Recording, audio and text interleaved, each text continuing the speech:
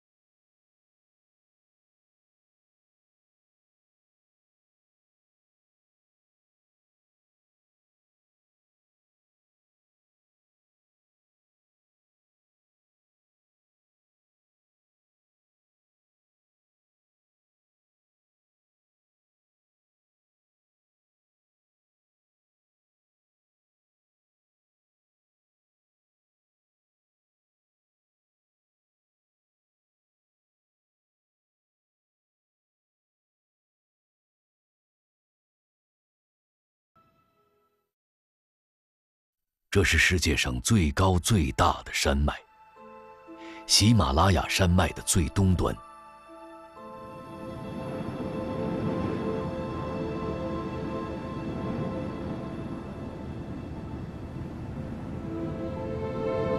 云雾中耸立的极高峰，名叫南迦巴瓦。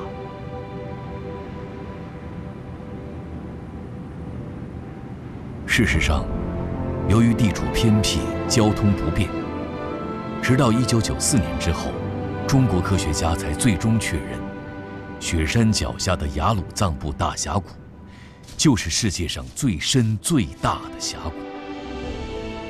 更神奇的是，大峡谷起点附近的雅江湿地，竟成了许多候鸟的重要越冬地。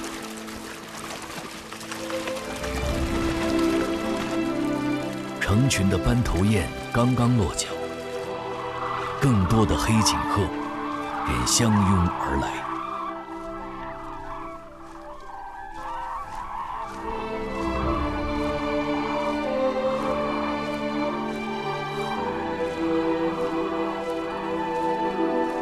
地球上有十五种鹤，黑颈鹤是其中最晚被命名的，也是唯一一种。终生以高原为家的鹤，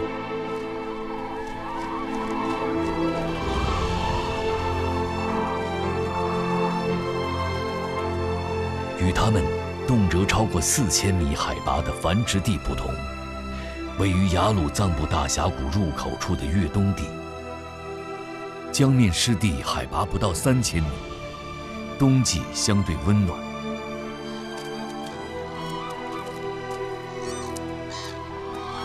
这是当年出生的小鹤第一次来到这里，由此向东眺望，就能看到高耸的地标——南迦巴瓦峰。而且，就在南迦巴瓦峰的西北面，直线距离不足二十千米处，还有一座极高峰——加拉白垒。长毛形的南迦巴瓦峰，海拔七千七百八十二米，是喜马拉雅山脉东端的制高点。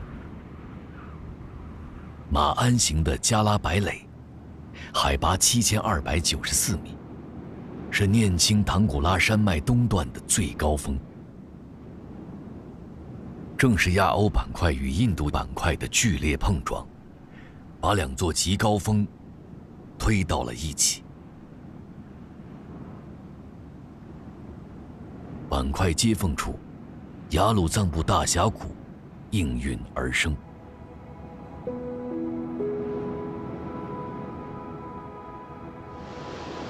为寻找冲出高原的缺口，已奔流了一千五百多千米的雅鲁藏布江，不得不在两峰之间不断试探，向北，向东，再向南，拐出一道大弯，一路俯冲。终于在板块接缝处，冲撞出一道长达五百零四点六千米的幽深峡谷。江面海拔从约三千米骤降至八百米，最终冲出高原，注入孟加拉湾。其规模之大，举世罕见。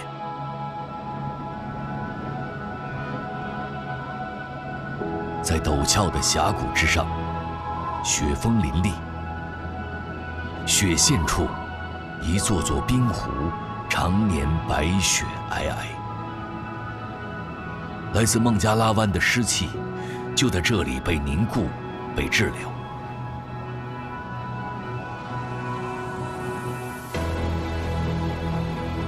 由此往下，随着海拔的急剧下降，一日之内。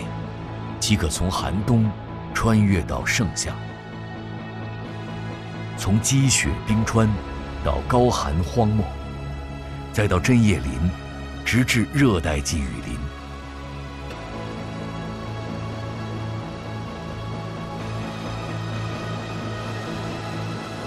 整整九个垂直自然带，就密集地镶嵌在峡谷两侧。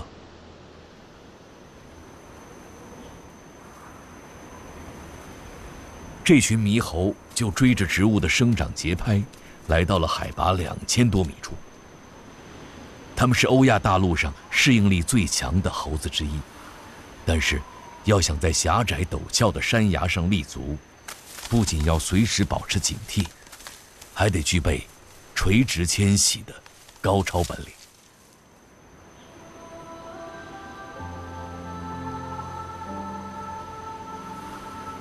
这是一个仍在继续生长变化的超级峡谷，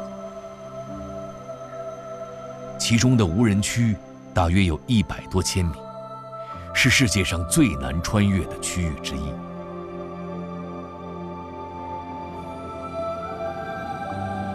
这是迄今为止峡谷最深、最新、最难得的一段高清影像。在这里，亚欧板块与印度板块以肉眼可见的方式激烈的交互着。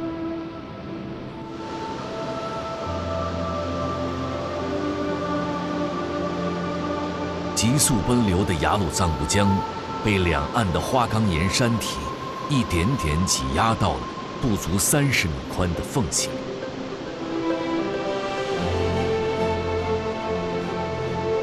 江水爆发出的巨大动能，甚至让两侧的山体都为之颤动。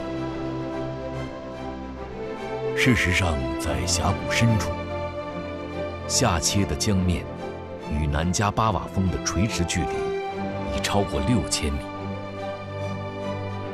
深邃的河谷，极端的地形，甚至把许多日常的必需品都变成了稀缺物。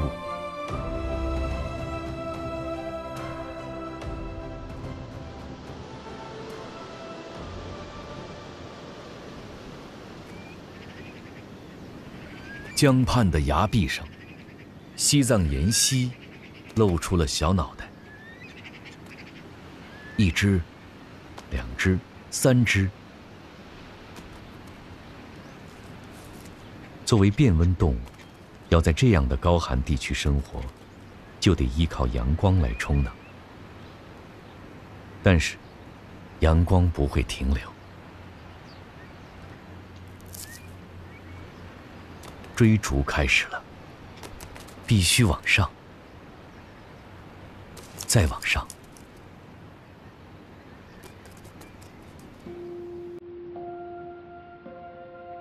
来到高处的岩壁，西藏岩溪终于彻底暖和过来了。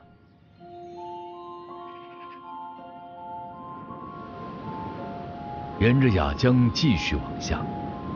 当江面海拔降至近两千米，峡谷中的一切都变了模样。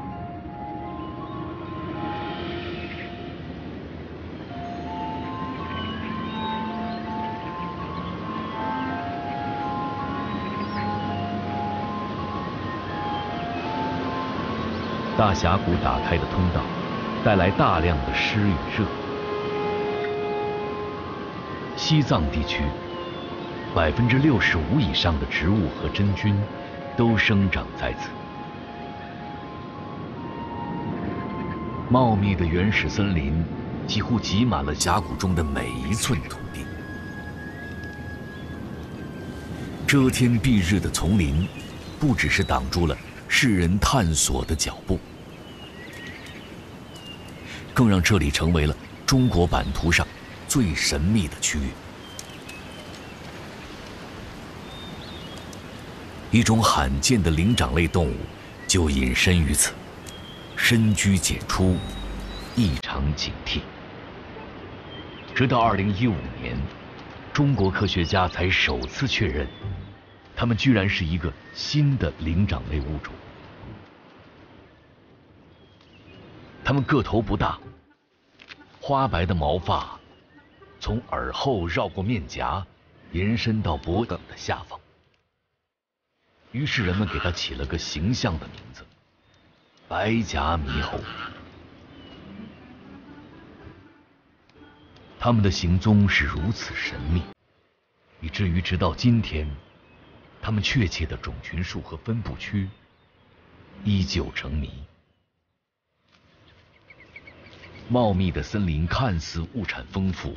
无奇不有，但是只有身在其中，才能体会生活的不易。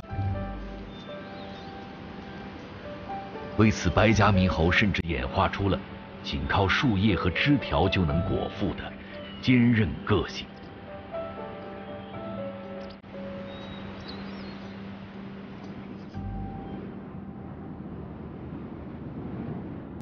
进入五月。降雨日渐频繁，峡谷两侧的高山草甸迎来了短暂的花季。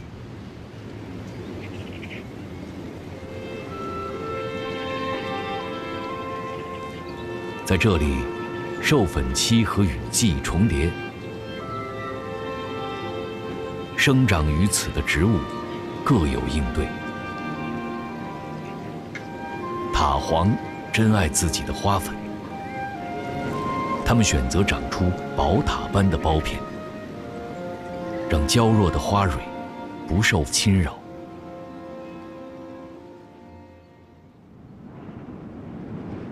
此时，在峡谷下游的低海拔地区，来自孟加拉湾的暖湿气流声势愈发强大。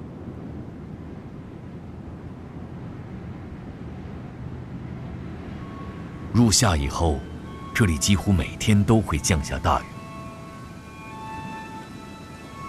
事实上，这里距离创造世界降雨量之最的乞拉彭齐仅五百千米，年均降雨量超过两千三百三十毫米，是中国境内降雨量最大的区域之一。连连飞瀑。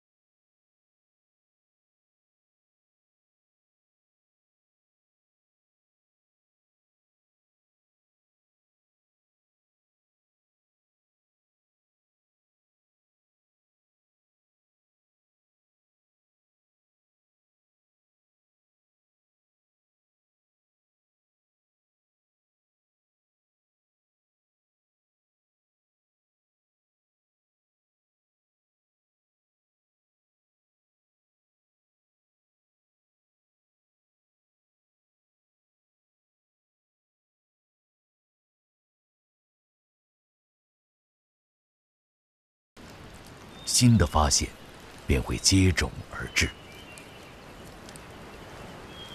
长腿蛛需要赶在雨后编织新的蛛网，广翅蜡蝉急需完成下一步蜕变。纯白色的若虫姿态，在丛林里太惹眼了。蚂蟥依靠前后两个吸盘灵活运动，吸盘中隐藏的锋利萼片可以割破皮肤，让它们吸取营养，抢占生机。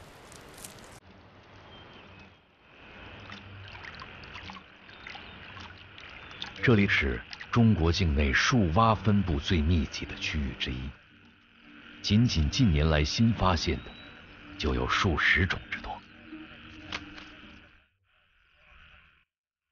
每当夜幕降临，这片稠密的雨林便进入了喧闹的夜场模式。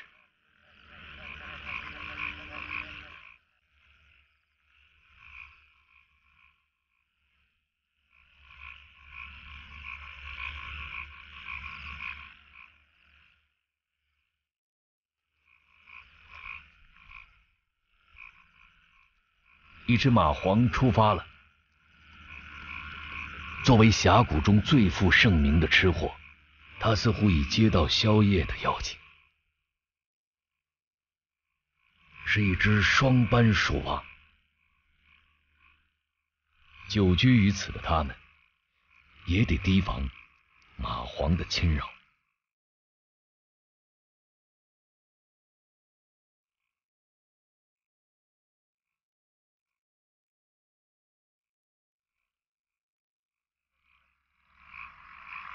横纹树蛙是大峡谷内的独有物种，娇小的身材仅有五到六厘米长。这个季节，它们还有更重要的事儿需要操心。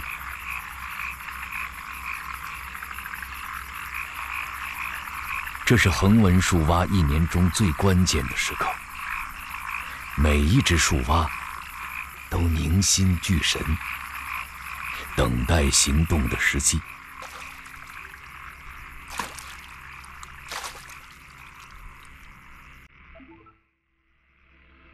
他们的目的地就是池塘边的这棵大树。一只强壮的雌蛙已背着娇小的雄蛙，捷足先登。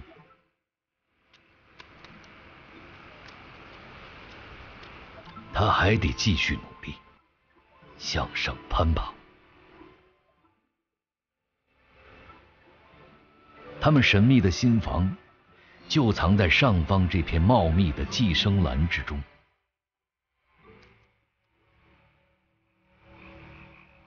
更多的爱侣也把目标聚到了这里。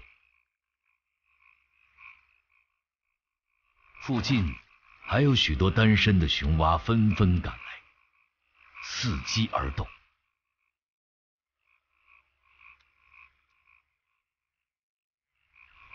新人们不会退缩，想要。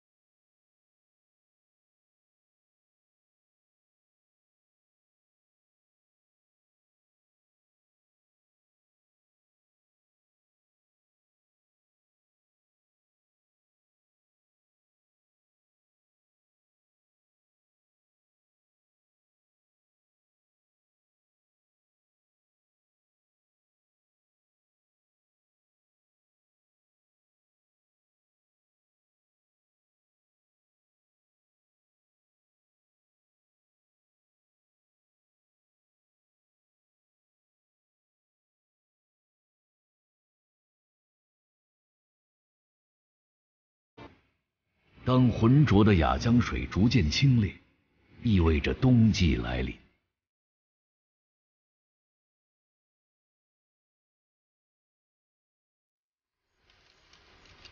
白颊猕猴又一次来到丛林边缘，寻找果腹的食物。此时，幼崽已将近五个月大。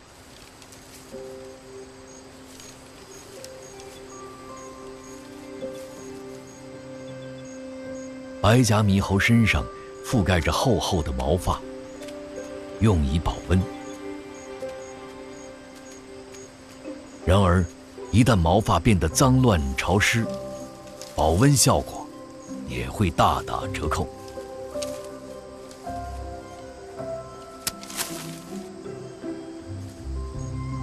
为适应大峡谷与世隔绝的复杂生境，白颊猕猴的个体间关系尤为紧密。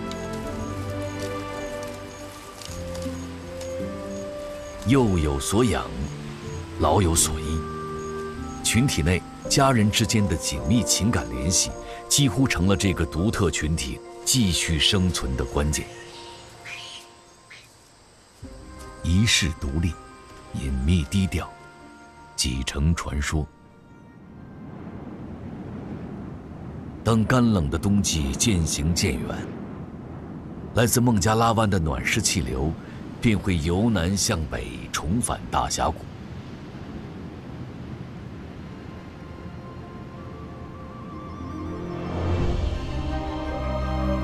此时，大峡谷的中低海拔区气温已回升至二十五度左右。不过，只要沿着峡谷继续往上，随着海拔的急速抬升，并列于两侧的极高山便会显露出它的威力。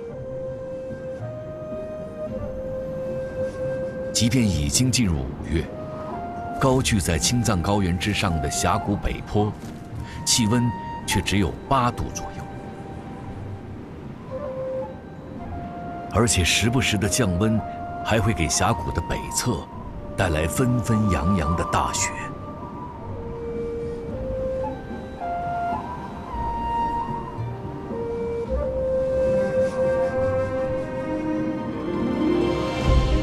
此时，雅鲁藏布江江畔，小黑颈鹤已经换上春装。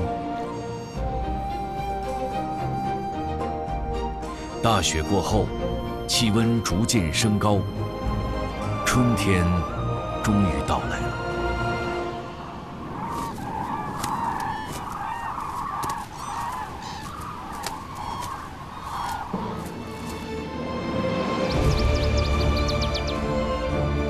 一个接一个的黑颈鹤家族纷纷结伴起飞，迎着暖风，挥动双翼。一起告别雅鲁藏布大峡谷，朝着高原深处的夏季繁殖地飞去。